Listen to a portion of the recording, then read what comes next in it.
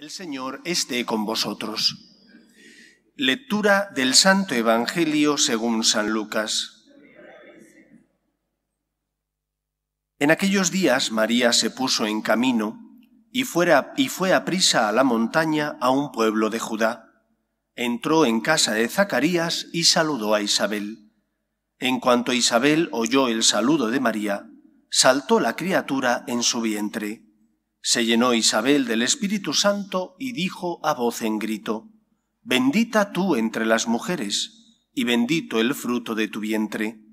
¿Quién soy yo para que me visite la madre de mi Señor?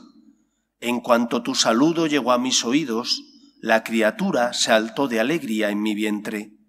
Dichosa tú que has creído, porque lo que te ha dicho el Señor se cumplirá. María dijo, Proclama mi alma la grandeza del Señor. Se alegra mi espíritu en Dios mi Salvador, porque ha mirado la humillación de su esclava. Desde ahora me felicitarán todas las generaciones, porque el poderoso ha hecho obras grandes por mí. Su nombre es santo, y su misericordia llega a sus fieles de generación en generación. Él hace proezas con su brazo, dispersa a los soberbios de corazón, derriba del trono a los poderosos y enaltece a los humildes. A los hambrientos los colma de bienes y a los ricos los despide vacíos. Auxilia a Israel su siervo, acordándose de la misericordia, como lo había prometido a nuestros padres, en favor de Abraham y su descendencia por siempre. María se quedó con Isabel unos tres meses y después volvió a su casa. Palabra del Señor.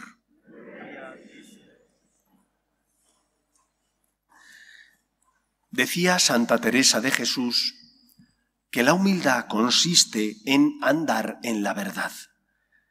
Ella lo explica en, su libro Las Moradas para enseñar a los que leyeran el libro que es fundamental reconocer los errores que uno comete en la vida y no vivir en un mundo que no es el real, en el que tú pareces que eres perfecto y no tienes errores ni pecados. Pero también creo que esa palabra y esa expresión de la Santa de Ávila nos tiene que hacer valorar los dones que hemos recibido, porque es un acto de justicia. Es un acto de justicia reconocer que la Virgen María tuvo unos privilegios porque iba a ser la madre de Cristo. Decir lo contrario es mentir y es faltar a la verdad, haciendo a Dios menos generoso de lo que es. Y es muy generoso con todos porque entregó a su Hijo al mundo por nosotros. Por eso la fiesta que hoy celebramos es, en primer lugar, un motivo para dar gracias a Dios y para reconocer los privilegios con que él agasajó a la que iba a ser la madre de su Hijo Jesús. No sólo fue concebida sin pecado original, sino que además tampoco quiso Dios que conociera la corrupción del sepulcro. Fue elevada en cuerpo y alma a los cielos para, de esa manera, desde allí, interceder por nosotros. Y hablar de los privilegios de la Virgen, además de un acto de justicia, porque es verdad, porque ocurrió, porque es necesario reconocerlo, es también hablar de algo a lo que nosotros estamos llamados, porque María es parte del pueblo de Dios. Como nos recordaba la segunda lectura, cada uno de nosotros forma parte de ese cuerpo místico de Cristo. Y en ese cuerpo místico de Cristo, cada uno de nosotros tiene una misión y una tarea distinta a la que tienen otros miembros del cuerpo, pero fundamental, porque un cuerpo que tiene enfermos sus pies no es un cuerpo sano. Y un cuerpo que tiene enfermo la vista es un cuerpo que no sabe por dónde camina porque no ve claramente. Cuando un miembro sufre, sufre todo el cuerpo. Cuando celebramos que María fue privilegiada por ser la madre de Cristo y no conoció la corrupción del sepulcro, estamos celebrando que nosotros también si somos fieles al Señor y acogemos su misericordia y su gracia, podremos alcanzar también la vida en el cielo. María ya la tiene de forma privilegiada porque es la Madre de Cristo, nosotros la obtendremos si confiamos y creemos en Dios nuestro Señor. Y esto nos enseña dos cosas en primer lugar. Primero, a reconocer la verdad. Eso es ser humilde, según Santa Teresa. Andar en la verdad. Reconocer los dones que tienes, que los tienes. Y reconocerlos no para que crezca en ti el orgullo y la soberbia, sino para que al contrario te des cuenta de si están dando el fruto que deben dar, de si el Señor estará contento contigo porque intentas que esos talentos que te ha dado den los réditos a los que Él tiene derecho. Esa es la primera enseñanza. ¿Eres agradecido? ¿Están dando fruto esos dones que el Señor te ha dado? ¿O por el contrario, dices que no tienes dones para no dar el fruto que el Señor te pide? Porque a lo mejor te exige sacrificarte. O porque a lo mejor te exige ser más humilde. O porque a lo mejor eso te implica ayudar más a los demás. Mira los dones que tienes. El Señor te los ha concedido para que den fruto y para que ese fruto ayude a que la Iglesia, como cuerpo místico de Cristo, lleve la luz de la salvación a los que no conocen a Jesús.